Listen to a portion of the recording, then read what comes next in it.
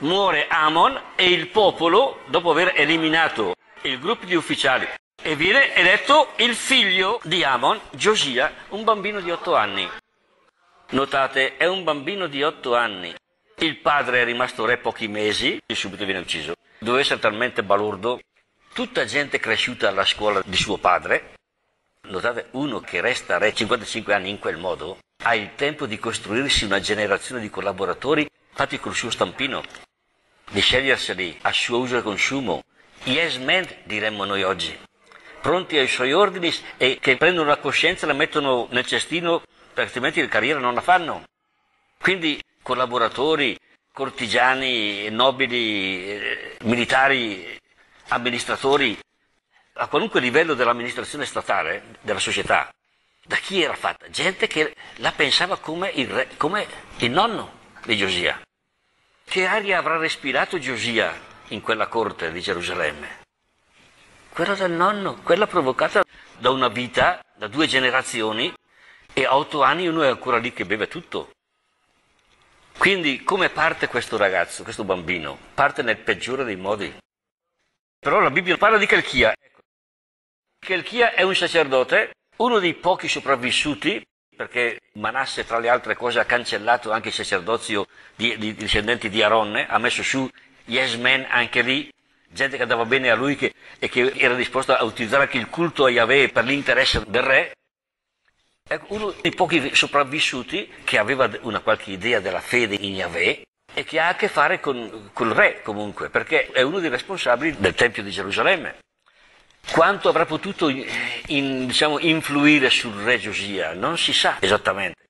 Ha a che fare, però fin dove arrivasse almeno all'inizio la fiducia e la familiarità di uno con l'altro, non è il suo tutore, è un suo collaboratore uno dei pochi collaboratori rimasti che agghira una sospira dorsale comunque, una sua fede personale, perlomeno.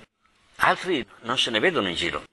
Ecco, questo ragazzino cresce, come siano i primi atti della sua vita, la Bibbia non dice niente. Dice però che a un certo punto, e anche sarà ancora abbastanza giovane quando questo avviene, un bel giorno, mentre stanno facendo dei lavori di restauro nel Tempio di Gerusalemme, viene trovato un rotolo della legge Qualcuno insinua resta quel chia che l'era scritto e la scundille dove fai la fate modo che la trovai.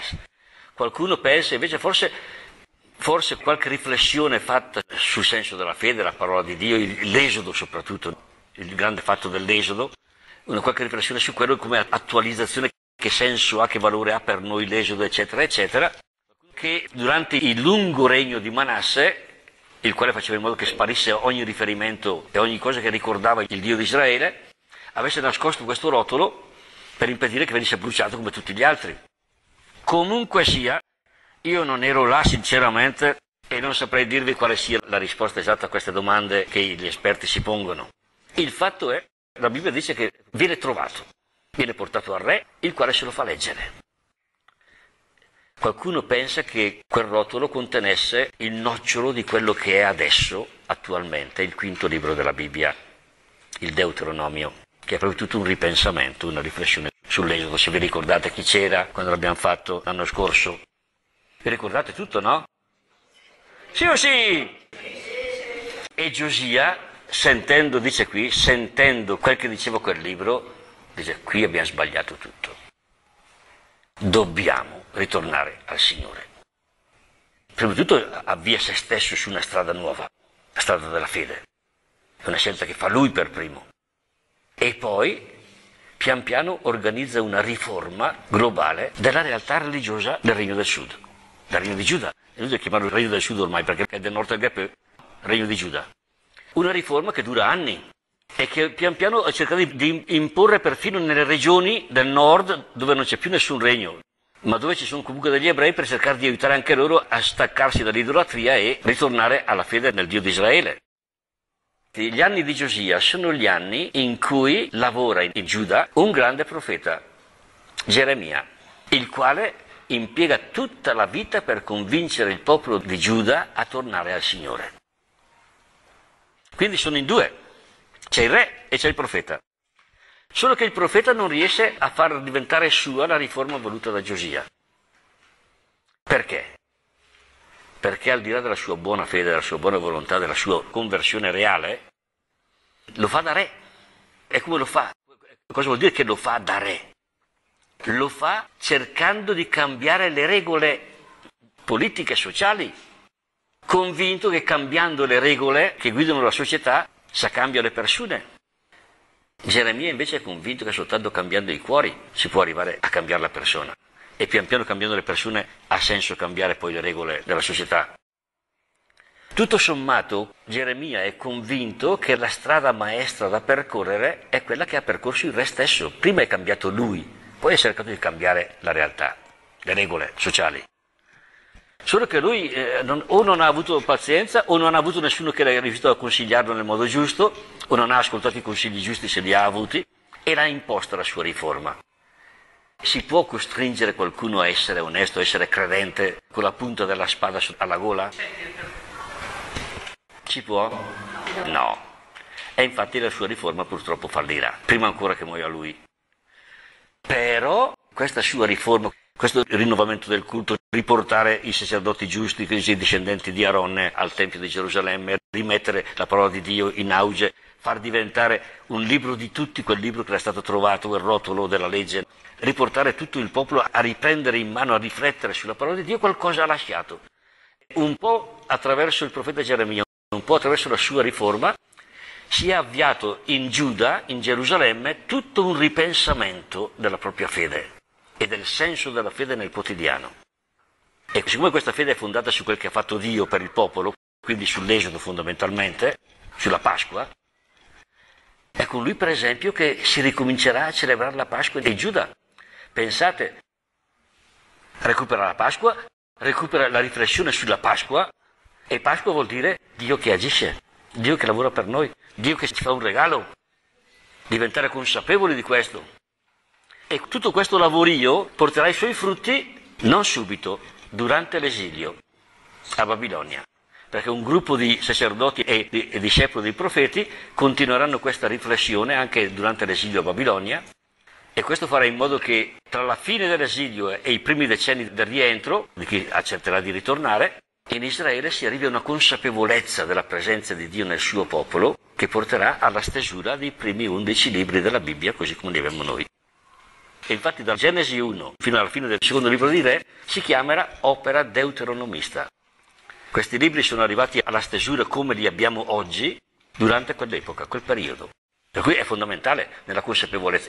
E ancora oggi quella riforma di Giosia ha dato il nome addirittura al quinto libro della Torah, della Bibbia, come l'abbiamo noi oggi, che si chiama Deuteronomio, seconda legge, che è tutta una riflessione sul senso dell'esodo, e ha fatto in modo tutto sommato che il popolo di Giuda, dopo il rientro dall'esilio, possa avere una base su cui costruire una comunità credente. Non è poco quel che ha lasciato, nonostante il fallimento. Mi interessava sottolineare il giudizio globale che la Bibbia dà su questo re. È re per 31 anni, solo che comincia a 8 anni, quindi quanti anni muore? A 39 anni, le mie straec. Lui è giovanissimo. Capitolo 23, versetto 25. Prima di Giosia non c'era stato alcun altro re che fosse tornato al Signore con tutto il cuore, con tutta la mente, con tutte le forze, seguendo l'intera legge di Mosè neppure dopo ce ne fu un altro come lui. È un giudizio ancora migliore di quello su Ezechia, un giudizio meraviglioso, che riguarda che cosa però? La sua capacità personale di conversione a Dio. Il linguaggio utilizzato dall'autore per descrivere la sua conversione, tornare a Dio con tutto il cuore, con tutta la mente, con tutte le forze, cos'è che vi ricorda? Signori, qui vi, voglio, eh? Non è comandamento, è lo Shema. Cos'è lo Shema? È la preghiera quotidiana di ogni ebreo ancora oggi.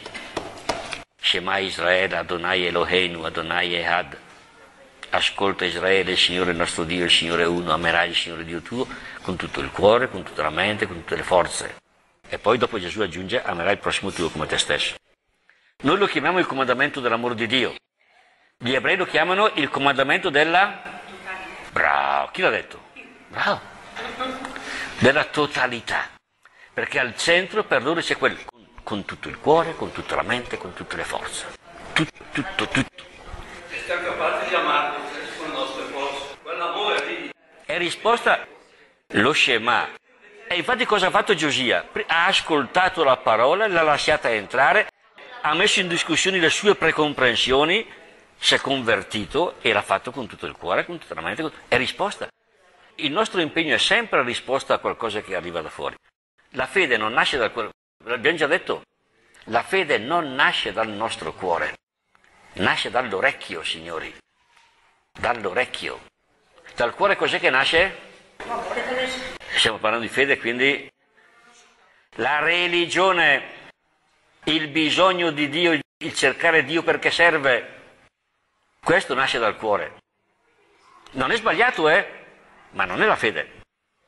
Anzi, questo sentimento che nasce dal cuore è facilmente proprio la nostra risposta a quel regalo, anche quello che abbiamo ricevuto di essere fatti a immagine e somiglianza di Dio. Quello stampino sul quale siamo costruiti, ci piace o no, che lo crediamo o no, che però essere edeter è il lavoro. E se lo ascoltiamo ci porta lì.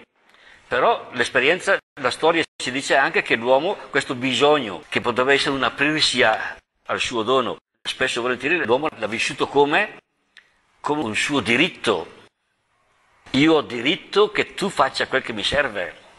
Quindi cerco Dio perché faccia per me quel che serve a me.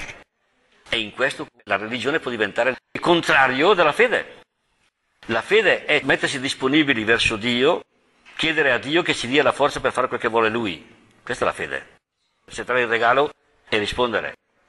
La religione è cercare Dio quando serve perché Lui faccia quel che vogliamo noi. È il nostro robo e facilmente cade nell'idolatria a questo punto, se non si sta attenti. In sé non è sbagliato, possiamo viverlo in modo sbagliato noi e di fatto molte volte si concretizza così, lo vediamo eh, svilupparsi così nella storia. Comunque c'è questo aspetto, lui l'ha fatto davvero, si è convertito in pieno. Purtroppo non ha avuto la pazienza o la capacità o gli strumenti per spingere il popolo pian piano a fare lo stesso cammino. Lui pensava di aiutarlo a farlo imponendolo con la forza e in questo si è sbagliato.